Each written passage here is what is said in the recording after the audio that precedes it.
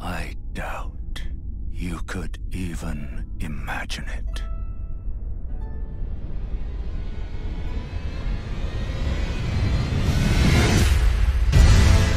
That which commanded the stars